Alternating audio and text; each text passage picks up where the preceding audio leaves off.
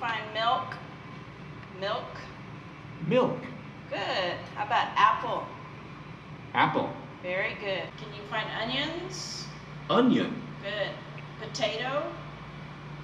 Potato. Blueberries? Blueberry.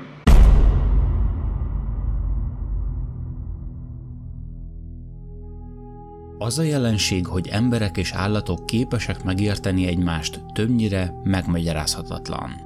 A kutyák csodálatra méltó biztonsággal sejtik meg gazdáik szándékát, ezért néha úgy tűnik, mint a hatodik érzékkel rendelkeznének. De elképzelhető hogy szokványos nyelvhasználat útján állatok valaha is érintkezni tudjanak az emberekkel. Évekkel korábban nagy erőfeszítések folytak a delfinekkel történő kommunikáció terén. Ezeknek az emlősöknek az agya méretében hasonló az emberi agyhoz, ráadásul ezek az állatok felettébb értelmesnek tűnnek. A delfinek a legkülönfélébb hangok kibocsátására képesek, mert morgással, csettegéssel, visítással, bömböléssel és füttyökkel jelzik a veszélyt, vagy üdvözlik ismerős társaikat. A nyelvük értelmezésére irányuló kísérletek nem vezettek eredményre, de a tudósok bebizonyították, hogy ezek az állatok az oroszlánfókákkal együtt képesek felismerni a kézmozdulatokat és megfelelően reagálnak rájuk. Egy kaliforniai laboratóriumban Rokit, a 13 éves oroszlánfókát megtanították bizonyos tárgyak felismerésére úgy, hogy valahányszor ügyes volt, megjutalmazták. Medencéjéből csak azt a játékszert halázta ki, amelyiket kérték tőle.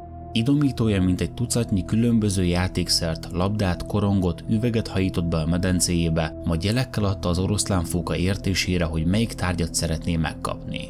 Az esetek 95%-ában Rocky hibátlanul teljesítette a feladatát. Mi több jóval bonyolultabb utasítások végrehajtására is megtanították, mint például vidd oda a labdát a koronghoz, vagy vidd oda a kis fekete korongot az üveghez. Ezeket 40%-os sikerrel képes megoldani. Hasonló kísérleteket végeztek csimpánzokkal, orángutánokkal és egyéb majomfélékkel. Mint hogy a főemlősök hangszálai nem hasonlítanak az emberéhez, beszélni sem képesek. E kutatási terület úttörői Ellen és Beatrix Garner elhatározták hát, hogy megpróbálják őket jelbeszédre megtanítani. 1967-ben szereztek egy egyéves nőstény csimpánzt, és 1971-re megtanították az Egyesült Államokban használt süketek közötti jelbeszéd alkalmazására. Számtalanszor elismételtek neki egy gesztust, és ha helyesen utánozta, dicséretképpen megsimogatták vagy ételt kapott. A majom gyorsan tanult, és rövid idő alatt nagy szókincsot vett szert.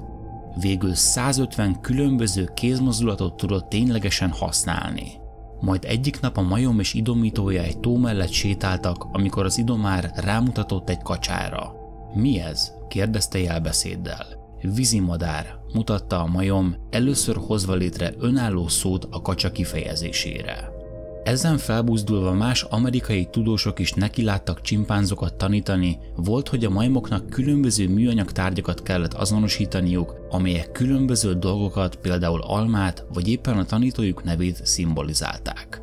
Néhány évvel később viszont az egész elméletet alapjaiban döntötte meg Herbert Terrace, a New Yorki Columbia Egyetem pszichológia professzora. A majom kétszavas kifejezéseinek vizsgálata alapján megállapította, hogy szófűzése voltak éppen esetleges. Az okos csimpánz ugyanis madárvizet is mondhatott volna. Megfigyelte továbbá, hogy egy nyelvet elsajátított kisgyerekével ellentétben a csimpánzok mondatai nem válnak fokozatosan bonyolultabbá. A közelmúltban egy kanzi nevű törpecsimpánz teljesítménye került az érdeklődés középpontjába.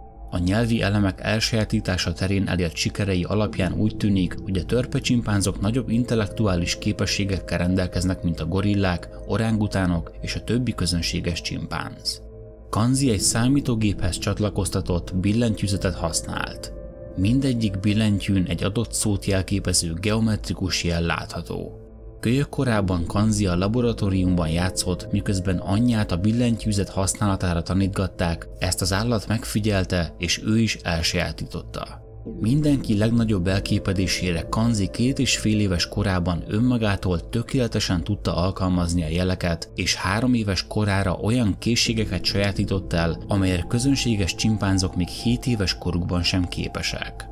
A kanzival foglalkozó tudósok korán sem állítják, hogy tanítványuk nyelvtanilag helyes mondatokat képes alkotni, de valóban képes ösztönösnek tűnő két-három szavas mondatokat kreálni, tetteihez pedig megjegyzéseket fűz és körvonalazza oktatóinak, mit szándékszik csinálni. Amikor megfosztották egy Austin nevű másik csimpánz társaságától, Kanzi láthatólag erősen hiányolta barátja szokásos esti látogatását. Néhány ilyen este elteltével beütötte az Austin és a tévéjeleket, mire a képernyőn megjelent barátja képe. Ezt követően Kanzi elégedetten ment aludni.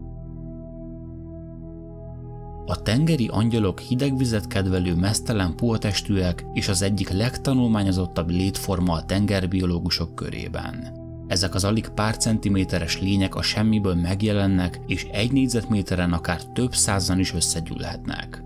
Amikor a víz hőmérséklete megemelkedik, a tengeri angyalok elvándorolnak, majd következő télen újra megjelennek.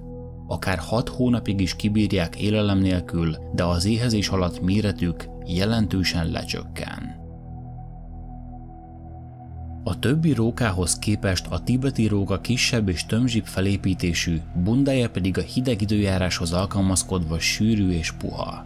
Kedvelik a félszáraz és száraz pusztákat, valamint általában 3 és 5 ezer méter tengerszint fölötti magasságban élnek. Elsődleges tápláléka a pocoknyulak, de egyéb rákcsálókat, gyíkokat és gyapjas nyulakat is elfogyasztanak. Magányos nappali vadászok követik a pocoknyulak odóit kiásó barna medvéket, és vadásznak a medvék elől menekülő rákcsálókra. A skarlátarcú majom elterjedési területe az Amazonas medence viszonylag kis területére korlátozódik. Nappal aktív, 15 és 30 egyedből álló csoportokban élnek, tápláléket pedig gyümölcsök, virágok, magvak és rovarok alkotják. Az ivarérettséget 3-4 éves korukban érik el, a vemhesség pedig 6 hónapig tart, aminek végén egyetlen utód születik. Az egyiptomi ugróegér észak-afrikai sivatagok rendkívül gyors mozgású éjjel aktív lakója. A kifejlett állatok hossza 10-12 cm, színe pedig alkalmazkodott a sivatag homokjához. Füveket, magvakat, gyümölcsöt és rovarokat fogyaszt, de vizet egyáltalán nem, mert teste nem ad le nedvességet, így elegendő számukra a magvakban található kevés mennyiségű folyadék. Nappal föld alatti üregeiben tartózkodnak, ahova veszély esetén menekülnek az éjjeli táplálékkeresés közben. A geláda páviánok az egyik legkülönlegesebb majomfélék, melyet 1835-ben fedeztek fel először. Kizárólag Etiópia és Eritrea magasföldi füves szavannáin élnek, éjszakára pedig olyan sziklákat keresnek fel, ahonnan reggelente leereszkednek és felkeresik a közeli füves területeket. Főleg növényekkel táplálkoznak, ezért kénytelenek alkalmazkodni azok szezonális változásaihoz. A júliustól augusztusig tartó esős évszakban táplálékuk nagy része fűféle, novemberben pedig áttérnek a magokra.